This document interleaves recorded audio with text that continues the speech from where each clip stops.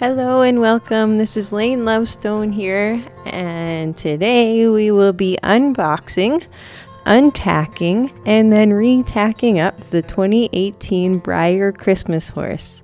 This horse has been named Celestine. It's on a newer mold here. I thought I'd do this video because there is some question about whether or not we could untack these Christmas horses. Um, so figured that this would be a, a road to discovery. I bought this horse for the model itself.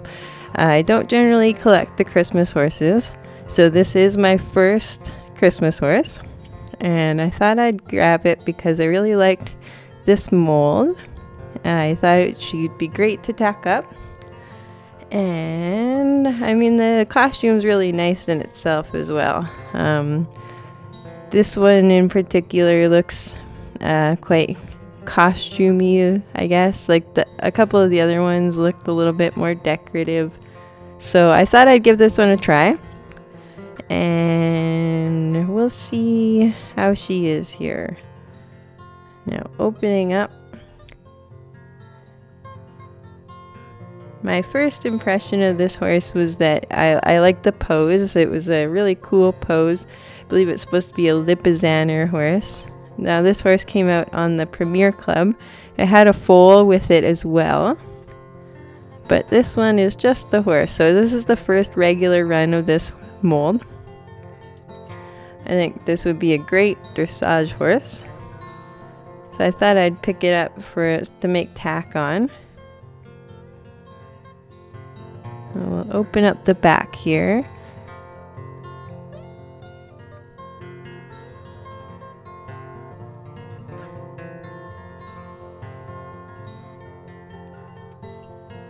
Now these can be a little bit sharp here, so make sure that you're safely undoing these Breyer horses. Sometimes I'll use uh, even a wire cutter just to cut through them. Uh, sometimes they can be a little bit difficult to pull out, especially as they're wrapped around the horse's legs.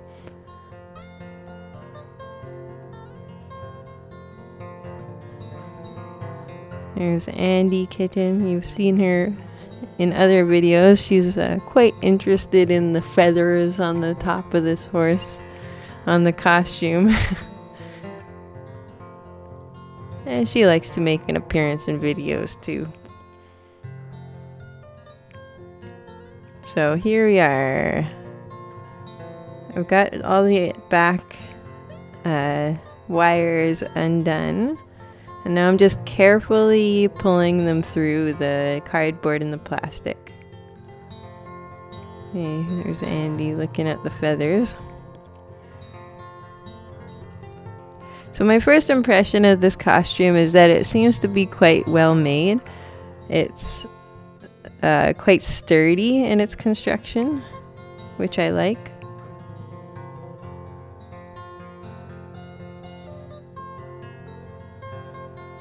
Could be a little bit tricky pulling these wires out through the backs there.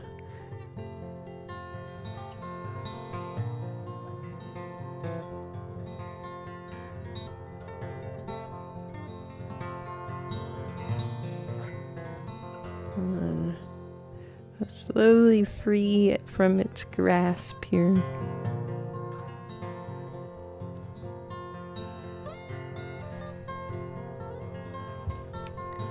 Okay, so now she's free. So we can take a quick closer look at this costume now. The roses on the the saddle portion of the costume are like a molded it's like almost like a plastic uh, mold there. So they're like a hard uh, flower. The beads are all quite nice.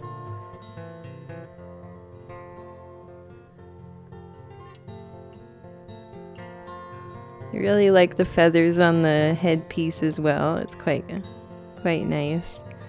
There's a, a lot of really nice lace work in the um, costume itself as well. You can see uh, along the sides. Like there's like kind of like this lace trim that's quite nice on it. And closer up to the head here so you can see this beadwork along the the top. And this is the part where people are unsure. Can I take this beadwork off this horse and put it back looking exactly the same as before? Here's the tail piece.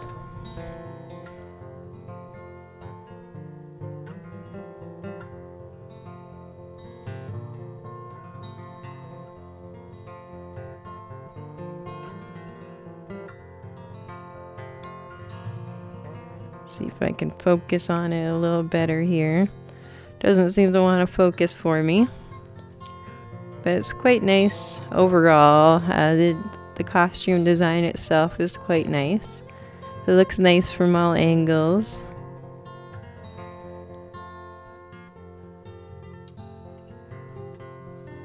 Overall, a very pretty Christmas horse. It's probably one of my favorites I've seen in the last few years. The mold itself is quite nice, and the horse is painted like kind of like a shimmery uh, gray color. It's almost like pearl. So the way that they package them to come to you, they have um, some plastic wrapped around the barrel of the horse. I think this is to prevent uh, any staining of the costume. I've heard in the past that the costumes have stained the horses, so when they're in the box, there is a protective covering. Now, this is Velcro. So this just Velcro Velcros to the end of the the tail here. As you can see, the the uh, ribbon on the tail is just sort of wound around and then velcroed to that tail piece.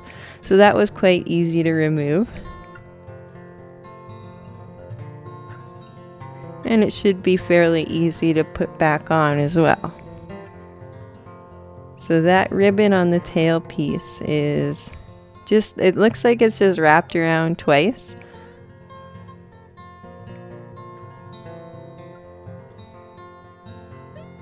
And it's just velcroed to that tail piece there. So that was quite easy to remove. It looks quite easy to put back on. So we'll take that tail piece right off.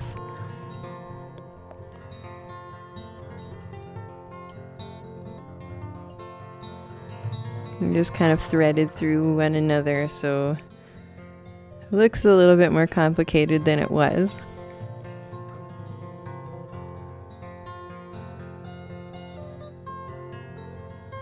Okay, so that's taken off now, so you can see a little closer up. It's just a piece of ribbon wrapped around the tail with a uh, decorative piece on the end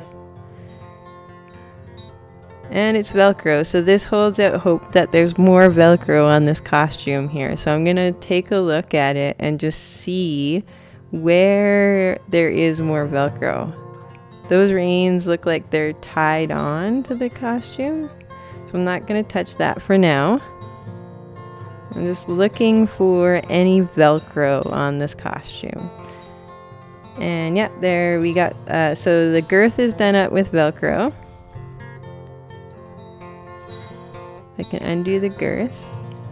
And then this piece, yeah, it's Velcro on that, the offside there. So undo that offside Velcro. And then I'm looking for the other side undoing. And yeah. So that's also Velcro right there. So all the Velcro um, places where you unattach are all on the off side of the model. And every, there's like three points of Velcro. So now, like I said, these reins are attached here. So I'm just trying to figure out what's the best way I can take off this headpiece without wrecking the costume. So I'm just taking a look here. Uh, what parts are attached, what parts aren't.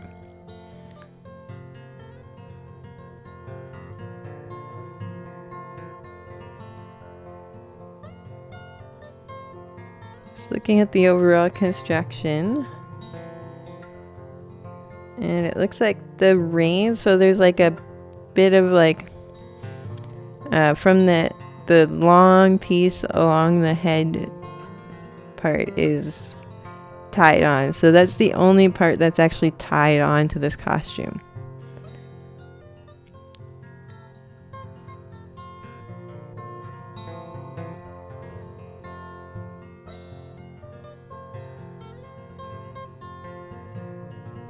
So there's all these little, um, just for the um, transport of this horse, and like in the package, there's a bunch of different um, clear elastics on the the model. So they're keeping the costume in place. Um, those you can remove just very carefully. Um, there's one along the body of the model, and then there's a couple on the uh, neck. So I'm just, so there's the main bead piece that I just pulled off so I can pull off the clear elastic bands. So I'm just carefully pulling those elastic bands over the head, over the feather piece, and then there's another elastic band here. So just carefully lifting it up and over the feathers. Not the feathers on the feet, the feathers on the head. um, okay, so after I get the elastics off, this is fairly simple construction. I believe I can just kind of lift it up and over the head. There's little, um, like, uh, pieces for the ears to go in right beside the feather. So, little, uh, like, straps that go around the ear. So I'm just slowly pull those off and then the whole piece comes together. So that's that's one piece. The head piece, bridle, like the feather piece is all attached to the main saddle piece of this costume. So as you can see, it looks fairly easy, fairly simple to put back on. There weren't many attachments like some some uh, clear elastic bands, but other than that, it was very easy to remove. Now, here's this horse that I've been waiting for. Now, it's quite a cool little mold. I do enjoy this pose. It looks really nice. Um, here's the plastic piece that the is protecting the mold from the, the saddle cloth itself. So, like I said, they do have a protective plastic bit over the barrel of the horse so that you don't have to worry about that costume staining the horse. That model is going to stay nice and mint because it's not rubbing, it's and it's got lots of protection on it. So here you are. Here's the mold. I really like the the face and the expression on this horse. I think that's one of the things that that really drew me to this mold wanting to have it. And then it's in a cool pose you know? It's like uh it's a, it looks like a passage probably. So it'll be good for dressage entries and it's a really cool color. I like the pearl. Here you can see his feet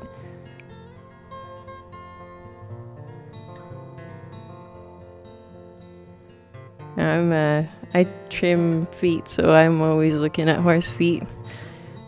Um, so yeah, here we are, this awesome mold, and then we can see. So now we're gonna try to tack it back up. See how easy, how difficult that would be. So our main thing first would be to make sure that uh, we're just getting everything, every all the head through. So I had re um, velcroed the front piece so I can just slip it over the head and then the rest goes with it. So this is me putting on those little loops that go around the ear. And I'm just trying to set it up nicely just the way it was before. Now this didn't take very long to do. Um, it was fairly simple to put back on. And now just straightening out the rest of the costume and then replacing the Velcro on the back piece.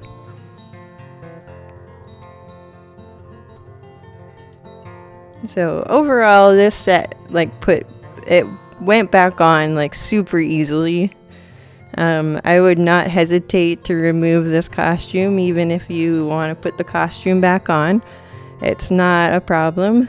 I might even take the costume off and then store it nicely so that way none of the feathers get uh, wrecked or anything like that. I got a kitty that likes the feathers, so and then put that one piece back over. So that piece, uh, it was initially um, tied onto the saddle cloth, but I just set it there. It set nice. And then last little piece will be the tail piece. So that just wraps around twice. Um, when I put it on here, I just wrapped it once just to kind of do do it really quickly. But yeah, it was very, very easy to put back on, take off. Uh, I would definitely, if you would want to use the model, don't be afraid to take the costume off. It was very easy to put back on and looked basically how it looked out of box. So it's a very versatile costume. Breyer did uh, did a really good job thinking um, uh, how to remove the costume, put it back on. So no issues there. Definitely grab this Christmas horse if you like the model, even if you don't like the costume, because it's very easy to remove, very easy to put on. I, it might even do well in a costume contest. It's actually quite a quite a nice costume. It's got like the inside of it is all finished and all that. So so yeah, overall, I'm very impressed with this Christmas horse. Um, if they come out with another one like this, I, I might uh, buy it again. So thanks so much for watching, everyone. This is Laine Lovstoan with Yellow Bird Acres Tack. Keep watching for more videos and tutorials. And like, share, and subscribe. Thanks so much. Have a great one, guys.